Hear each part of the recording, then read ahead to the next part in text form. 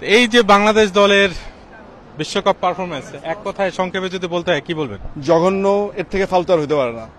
কেন? খুশি না। এই এটা কোনো খেলা হলো? দলের মধ্যে কোনো ধরনের আমি কোনো ধরনের কম্বিনেশন দেখি না।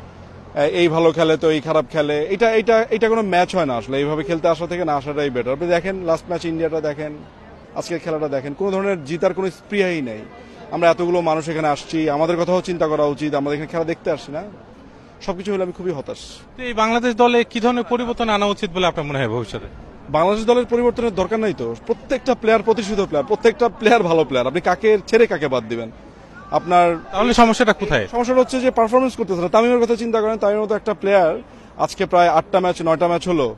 আপনার দশ রান বারো রান করার মতো প্লেয়ার সে। তারপর আপনি সৌম্যের কথা ধরেন। সৌম্যকে নামানো হয় কিসের জন্য? দশ রান করার জন্য? পনেরো রান করার জন্য? ও যদি নিজের ওজনটা না বোঝে তাহলে ওর ভবিষ্যৎটা হবে যে অতীতে যারা বাদ হয়ে গেছে ওই যে আরাফাত সানি নাইমুল ইসলামের মতো চলে যেতে হবে। কারণ এই এত পাওয়ার সৌম্যের হাতে এই লেভেলের পাওয়ার একটা ছেলে যদি দশ পনেরো রান করে তা হতে পারে না আসলে। সো প্রত্যেকটা প্লেয়ার ভালো ওরা যদি মনে করে যে ওরা ইন্ডিয়া যেমন দেখেন আপনি কীরকম সেক্ষেত্রে কি আপনার কাছে মনে হয় নেতৃত্বে কোনো ঘাটতি আছে? নেতৃত্বের তো কোনো ঘাটতি আমি দেখি না। আমার কাছে যেটা মনে হয় আমার কাছে এটা মনে হয়েছে যে ইন্টারনাল কোনো একটা প্রবলেম আছে। কোনো সিরিয়াস ধরনের কোনো প্রবলেম আছে। সেটা বিশদ না বলি যেহেতু এটা আপনার লাইভ করছেন মনে না? এগুলো না বলি।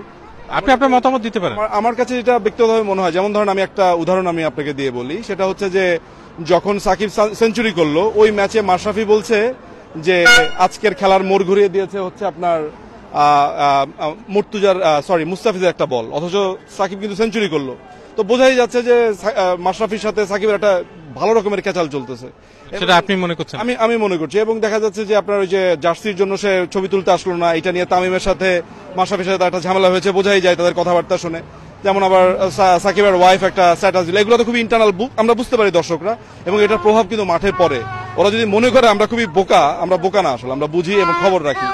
সো এগুলো যদি দলের মধ্যে চলতে থাকে আমার মনে হয় দল হওয়া উচিত ইন্ডিয়ার মতো। একটা গুন্ডা থাকবে মাঠের মধ্যে সবাই তার কথা শুনবে সেটা হচ্ছে বিরাট কোহলির মতো। মাস্তান একটাই এগারো জন তার পেছনে থাকবে দ্যাটস ইট এটাই হচ্ছে খেলা। ভবিষ্যতে আপনার কাছে কি মনে হয় তাহলে বাংলাদেশের দলের নেতৃত্বে কার আসা উচিত? নেতৃত্বে কার না? এটা হচ্ছে যে আপনাকে মানতে হবে আর মেহেদি মিরাজও যদি ক্যাপ্টেন হয় মানতে হবে ওকে। দল তার অনুগত থাকবে তার পার্সোনাল প্রবলেম মাঠে আনবে না শেষ।